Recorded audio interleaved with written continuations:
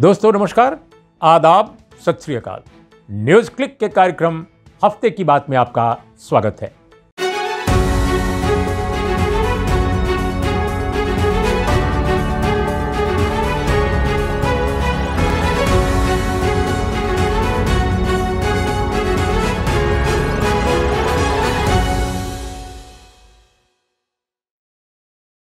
दोस्तों हफ़्ते की बात में आज हम तीन खास खबरों की चर्चा करेंगे। सबसे पहली हमारी खबर है कि उत्तर प्रदेश हरियाणा और उत्तराखंड इन तीन राज्यों से एक तरह से यूँ कहा जाए कि जुड़ी हुई कावड़ यात्रा। तीनों प्रदेशों के लोग ज़्यादा आज आते हैं जाते हैं। तो ये जो कावड़ यात्रा है वो 25 जुलाई से शुरू हो रही है। ऐसा अभी तक जो आ, सरकारें संबद्ध सरकारें हैं जो प्रशासन है उनकी तरफ़ से जो चीज़ें सामने आई हैं, उनके मुतलिक इस वर्ष 2021 में पहले की तरह कावड़ यात्रा चलेगी। अब ये जो कावड़ यात्रा है, हम सब जानते हैं कि ये हरिद्वार तक और हरिद्वार से फिर वापसी अपने अपने घरों तक लोग जाते हैं। लाखों की संख्या में, लाखों की संख्या में।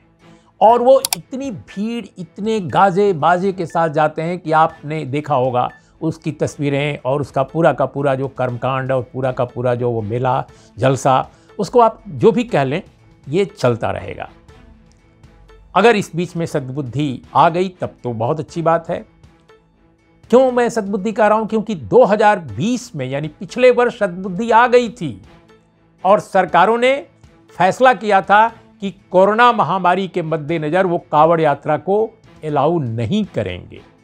लेकिन हमने देखा कि कुंभ को अलाउ किया गया अभी इसके बावजूद कि बहुत बड़ा खतरा था और आप जानते हैं कि कुंभ के बाद क्या हालात पैदा हुए।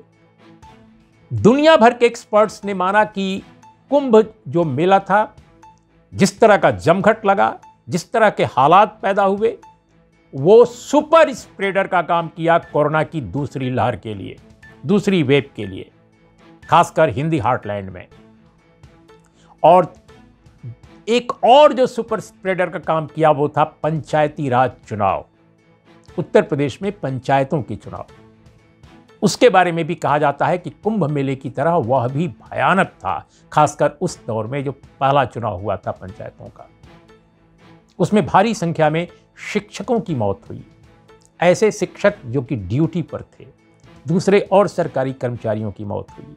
ये सब रिकॉर्डेड है। कुछ के कुछ के रिकॉर्ड्स को सरकार मानती है, कुछ का कहती है कि छानबीन करा रही है, क्योंकि मुआवजे का प्रश्न है। तो ऐसे में एक सवाल उठता है कि क्या ये जो कावड़ यात्रा है, जो पिछले साल नहीं निकली, इस साल निकालने का क्या औचित्य है? क्या कावड़ यात्रा एक ऐसी यात्रा है जिसके बगैर मनुष्यता नहीं रह पाएगी? महामारी ज़रूर है। जिसमें मनुष्यता पर गहरा संकट है। लेकिन कावड़ यात्रा नहीं निकलेगी तो मनुष्य का क्या बिगड़ेगा? किसी की धार्मिक भावना का क्या बिगड़ेगा? अगर धार्मिक भावना महामारी के प्रसारण से, उसके फैलने से अगर किसी की बहुत संतुष्ट होती है तो ऐसी धार्मिक भावना को आप क्या कहेंगे? फिर पिछली बार सरकार ने क्यों नहीं ऐसा किया? क्यों अलाउ नहीं किया? क्यों उसने नहीं निकलने दी यात्रा? और इस बार क्यों निकलने दे रही है? तो दोस्तों, मुझे लगता है कि उत्तराखंड और उत्तर प्रदेश दोनों जगह चुनाव है। और सत्ताधारी दल को राजनीति में धर्म का समागम बहुत अच्छा लगता है। धर्म के राजनीतिक मंसूबों के आधार पर ही ये पार्टी, जो सत्तारूढ़ पार्टी है उत्तर प्रदेश बिहार में, इसने धर्म का जितना इस्तेमाल किया है राजनीति में, उतना अतीत में और मौजूदा दौर में शायद ही किसी और पार्टी ने किया हो। तो हो सकता है कि चुनाव के मद्देनजर कावड़ यात्रा को एक ज़रूरी कदम के रूप में देखा जा रहा हो कि चलो इसका भी इस्तेमाल कर लो, लोगों की भावना को थोड़ा सहला दो। लेकिन अगर तीसरी लहर जिसकी चिंता ज़ाहिर कर रही, की जा रही है पूरी दुनिया में कि भारत में तीसरी लहर आएगी तो क्या होगा? अभी टास्क फोर्स के जो लोग हैं, खासकर डॉक्टर वी के पाल को मैं सुन रहा था, वो ये कह रहे हैं कि दूसरी लहर अभी ख़त्म नहीं हुई है। ये हमें नहीं मानना चाहिए कि दूसरी लहर कोरोना की ख़त्म हो गई। और अगर तीसरी लहर आ गई कंटिन्यूटी में तो क्या होगा? और ऐसे में वैज्ञानिक भी उत्तर प्रदेश के और बहुत सारे बड़े चिकित्सक भी ये सवाल उठा रहे हैं।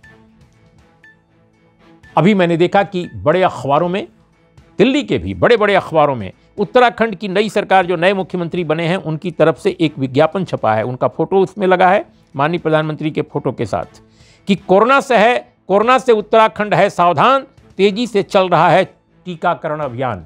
अब मुझे तो नहीं मालूम कि टीकाकरण अभियान कहाँ से तेज़ी चल, तेज़ी से चल रहा है, महाराष्ट्र से लेकर के, और तमिलनाडु तक सारे स्टेट परेशान हैं, दिल्ली में लोग परेशान हैं, यूपी में लोग परेशान हैं, टीका नहीं मिल रहा है लोगों को। और जब मैं ये बात कह रहा हूँ, मैं अपने निजी अनुभव के आधार पर भी कह रहा हूँ। इसलिए इसकी प्रामाणिकता को कोई चुनौती नहीं दी जा सकती है। लेकिन वो बता रहे हैं कि नहीं, टीकाकरण अभियान बहुत तेज़ी से चल रहा है।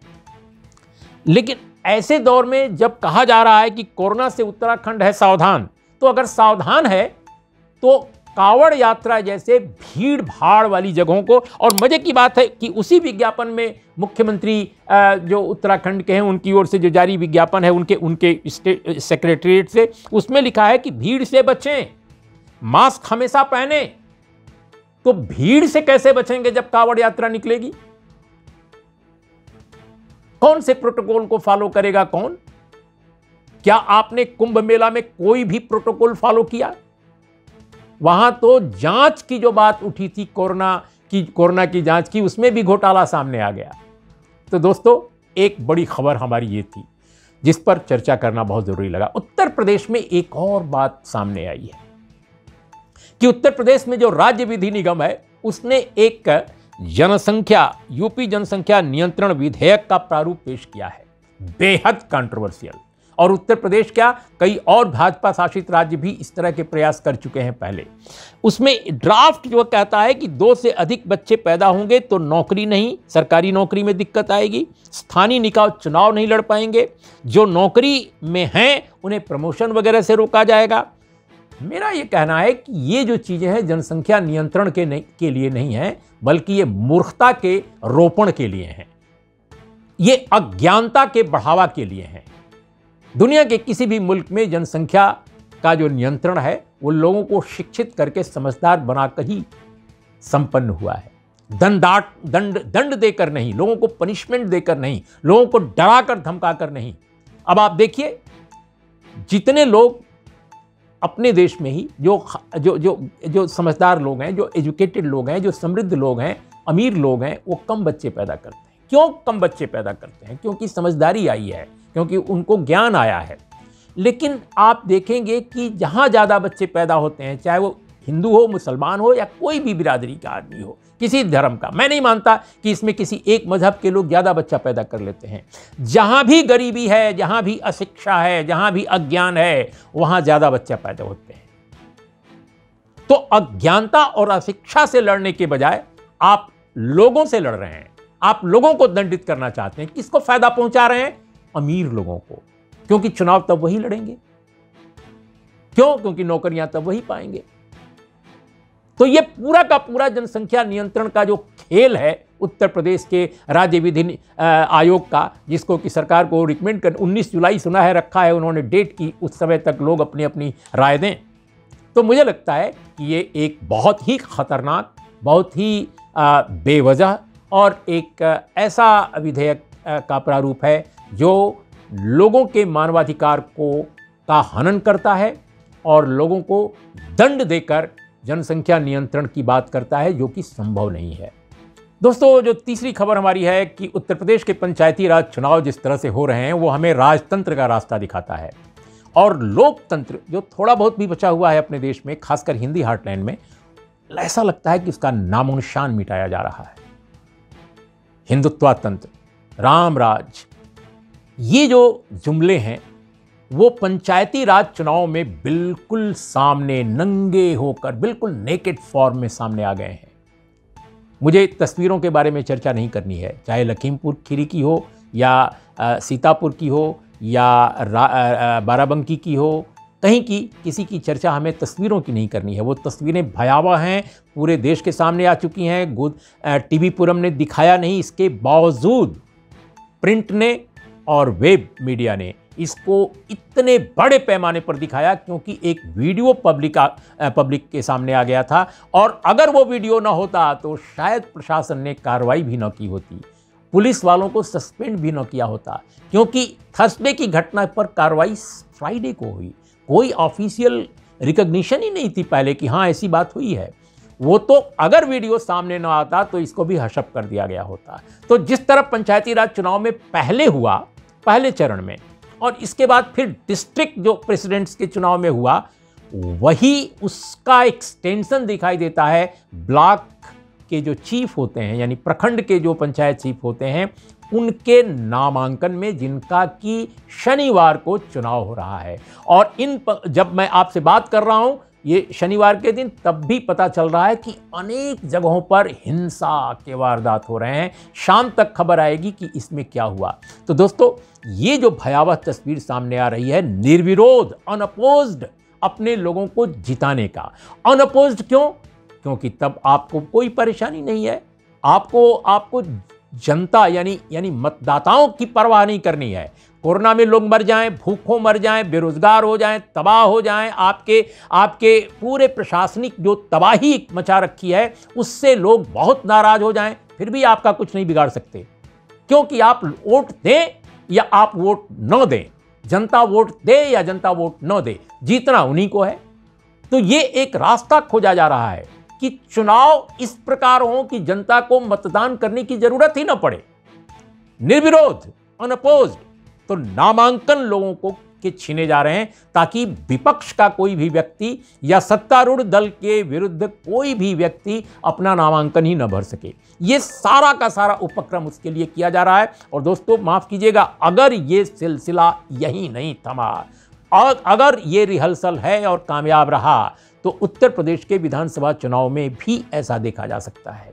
क्यों? क्योंकि हमने जो सुना है कि हाल के दिनों में जो विधानसभा के अध्यक्ष पहले रह चुके हैं उनके साथ भी बहुत सारी आ, बहुत बहुत दुर्व्यवहार हुआ है कई जगहों पर आ, कुछ एकाध जगहों पर।